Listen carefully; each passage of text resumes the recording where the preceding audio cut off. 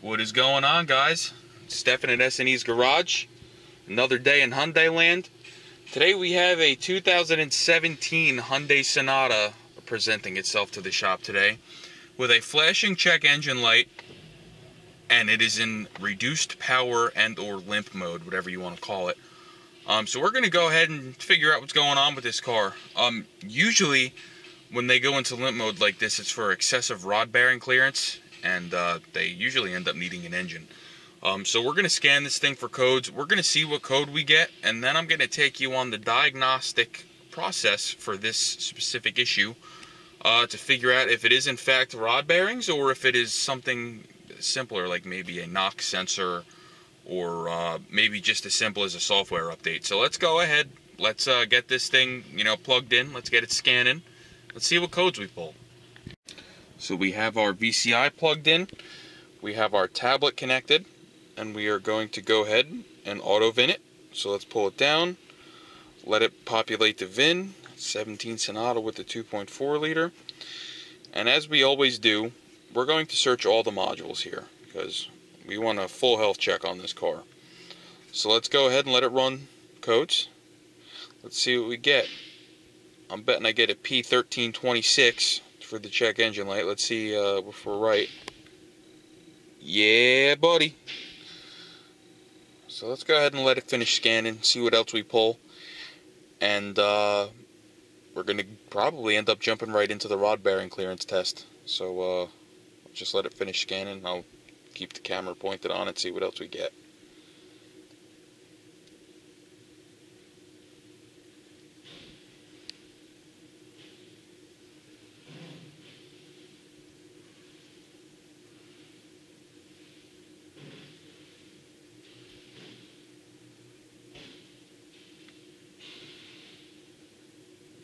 Nothing yet. Looks like we have our 1326 and that's probably going to be it. We might have some some silly stuff in history. There's usually history codes on almost any car I scan, just whether it be low battery voltage codes if the battery's ever died or simple stuff like that. But it's, it's good to get the full picture, especially on these modern cars that have, you know, 15, 20 modules in them. Uh, you want to know if everything can talk to it, you know, each other and uh, if any of the modules are ratting any other modules out, you know, this that's why you want to get a full workup on the car, more or less.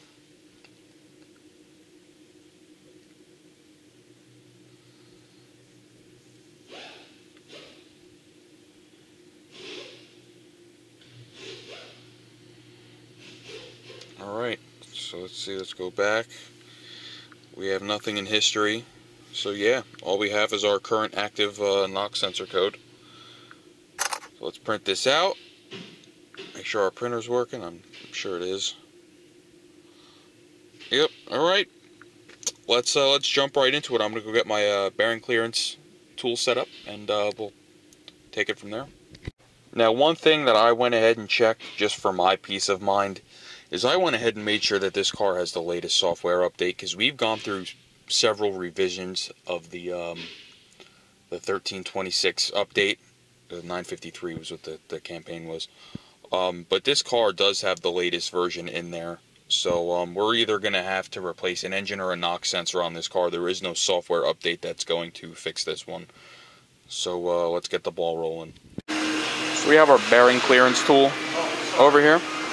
And the way we need to set this up is I need access to the top of all four pistons.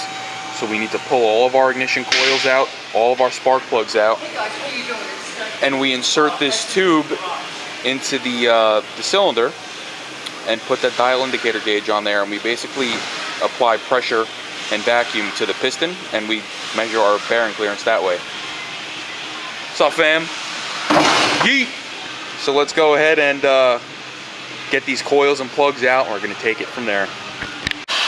Alright, so we got all of our coils out, we got all of our spark plugs out, and we have our rod bearing clearance tool inserted into cylinder number one. So now what we're going to do is rotate the engine until it's at top dead center of number one, and we're going to start the test. So uh, let me find a way to prop the camera up, and I want to get it on camera when I rotate this, and show you how to get it to top dead center, and get it started.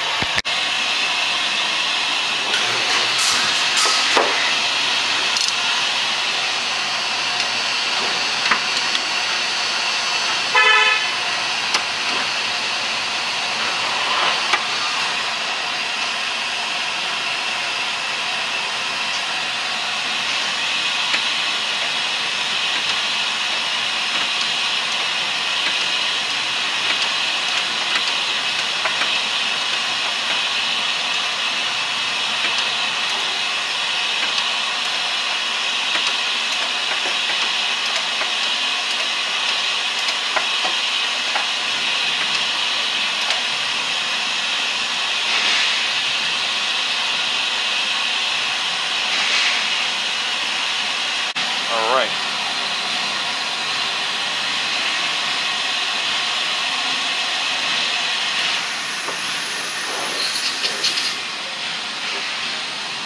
Connect our air hose.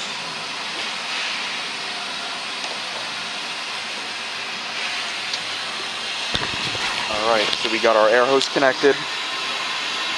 We're gonna click the next button. And this is when we get to see what our bearing clearance is at. So if you watch your number here, when I switch it, it should change. So that's our bearing clearance.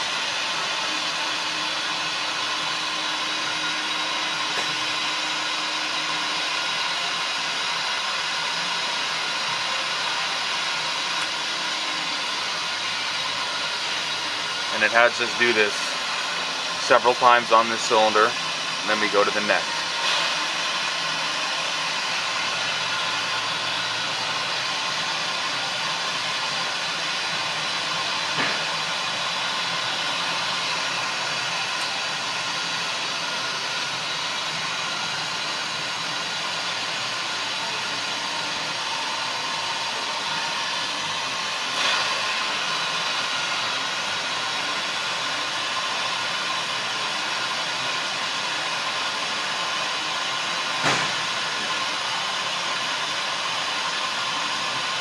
All right, well, I'm going to go ahead and do this on the rest of the cylinders here and uh, update you with what we got. So this engine passed the bearing clearance test, uh, so we're probably going to end up putting a knock sensor in this thing. I just have to read up on the TSB, make sure I've done everything that I need to do to condemn the knock sensor, and uh, we're going to take it from there. So give me a few minutes, let me do some reading, and I'll be back with you. Alright guys, back with you here. Uh, unfortunately, this thing is getting a knock sensor. we got to take the air dam out. We got to take the air box out. I got to separate the throttle body from the intake manifold. I got to pull the whole intake manifold out because the uh, knock sensor's tucked up under there next to the fuel rail. So let's go ahead and start disassembling. First thing I'm going to do is disconnect the negative terminal. Alright guys, so we're in the middle of our intake manifold removal here. I just wanted to make a point here. Um, Hyundai runs coolant through their throttle body. Um, so to prevent yourself from having to drain the cooling system, just unbolt the throttle body from the uh, intake manifold. That way you can pull the manifold and leave the throttle body in the car. Um, you're going to have a vacuum line up here to disconnect. You're going to have two over here. I disconnect it on this side and leave the purge valve connected to the manifold. And you're also going to have to unhook the harness from the manifold and then you have to disconnect your injector harness and your knock sensor harness from the bracket on the front of the manifold. So now that we're at this point, I'm going to go ahead and pull all of my bolts and nuts that secure the, uh, the intake manifold. We have one, two, three, four, and five. There's one on this side hiding. And then there's a little bracket underneath the intake manifold that also has two 12 millimeter bolts you have to take off. So I'm going to go ahead and get them off. And then uh, I can pull the whole intake manifold off of the car. So just hang tight. All right, we got our intake unbolted. I'm gonna put you down here. We're gonna pull the whole intake manifold out of the car.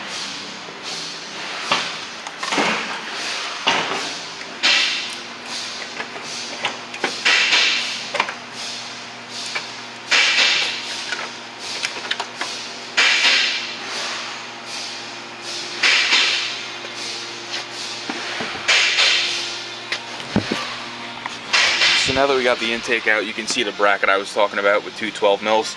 Uh, you can get it from the bottom, but it's a little bit of a pain in the ass, so I usually like to just get that from up top. And uh, here you can see the inside of your intake runners, which is a, a good thing to show you because these cars are GDI engines, so they do not have the advantage of a fuel injector cleaning the ports, so they get very dirty and you should definitely be performing a GDI service on these cars at least every 20,000 miles to keep these valves clean. Uh, that's not why we're here. So here's that bracket I was talking about, and then our knock sensor is up under here, underneath the number three fuel injector. You can see it right there behind that clip. So we're gonna have to unplug that injector, and then we're gonna remove that knock sensor. And when we install the new one, it is very important that we use a torque wrench and torque it to exactly 15 foot-pounds. So let's go ahead and get this old one out, and uh, I'll get the new one in, and I'll, I'll torque it on video so you can see you know exactly what I'm doing. So to gain access to this knock sensor, we have to unplug the number three fuel injector, and there's a little clip behind it that we have to unclip. So I'm going to use this little hook tool because you can't really get it with your fingers, and you're just going to kind of get it behind here and pull down and you'll feel it disengage. And then you should just be able to unplug the injector. So let's work on that. There we go. Okay, we got the injector unplugged. And now we have access to the 12 millimeter bolt that secures the knock sensor. Let's get that out. Alright guys, we got our torque wrench set to 15 foot-pounds. We're going to get in there, we're going to torque down this knock sensor and uh, then we're going to throw the intake manifold back on. Let's get to it.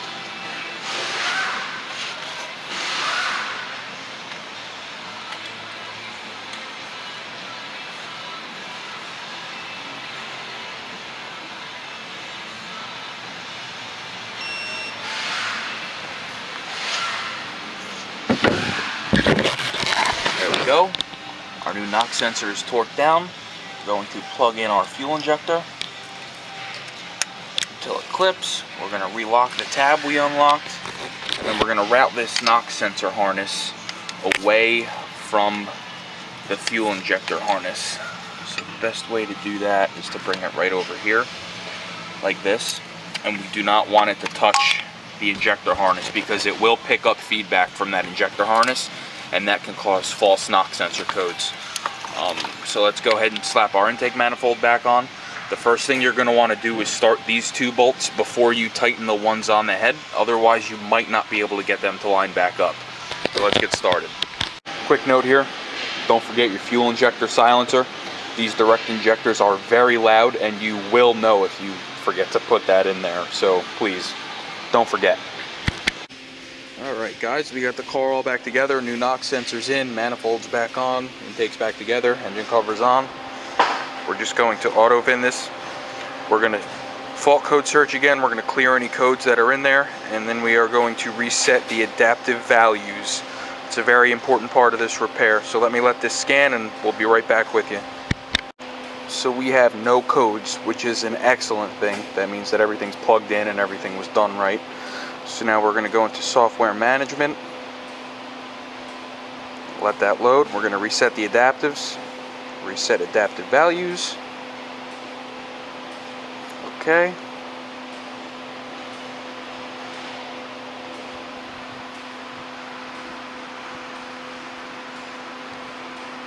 Okay.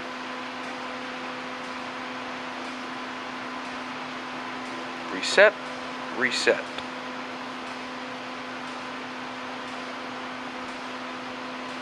Beautiful. Let's go ahead and fire this thing up.